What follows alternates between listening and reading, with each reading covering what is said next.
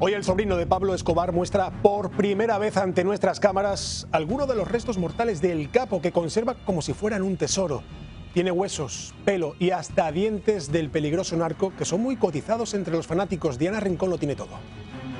Estos son los dientes de Pablo. Hasta un millón de dólares le han ofrecido al sobrino de Pablo Escobar por una pieza dental del capo de la mafia. Eh, dineros calientes o entrada de dólares al país. Un millón de dólares no tiene la capacidad de comprar un pedacito de recuerdo de mi tío. Ya cuando yo me muera, que, la, que mi familia haga lo que se le venga en gana con lo que quiera, pero mientras que yo esté vivo, no, no, no lo venderé.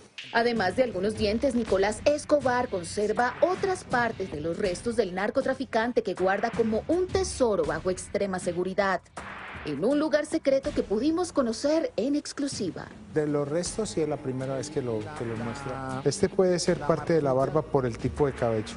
Son restos que obtuvo tras la exhumación del cadáver de Pablo en el año 2006. Estas imágenes inéditas corresponden al cráneo y huesos de Escobar, quien fue desenterrado para verificar que el cuerpo en esa tumba fuera el del jefe del cartel de Medellín. esa es la marquilla, esta es la marquilla de la camiseta que con que enterraron a Pablo. El orificio, el orificio. Con la exhumación, Nicolás quería además corroborar las causas de la muerte de su tío.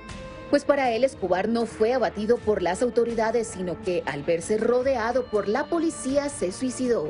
Tengo cabello eh, de la parte donde se suicidó él, donde estaba el, cerebro, con parte del cerebro también y sangre. la aureola del, oído, donde se impactó el, balazo, Pablo, aún se encontraron esquirlas de pólvora metida en, el área del cráneo. Este es un huesito de la columna de Pablo. Recopiló también algunos huesos y con parte de ellos cumplió uno de los últimos deseos de Pablo, ser enterrado en la hacienda Nápoles, en donde vivió y construyó todo su imperio criminal. Me fui para allá sin que nadie se diera cuenta, abrí el, espacio y lo, lo, guardé. Él quería que esa ceiba lo, lo, fuera el sitio donde él estuviera enterrado. Nicolás Escobar está preparando una vitrina blindada para que los restos que conserva de su tío Pablo puedan ser exhibidos al público con total seguridad. Desde Colombia, Diana Rincón, Telemundo. El sobrino de Pablo Escobar, al igual que otros familiares, consideran que el capo se suicidó y como prueba de ello exponen sus huesos al público. Sin embargo, las autoridades colombianas nunca han aceptado esa teoría.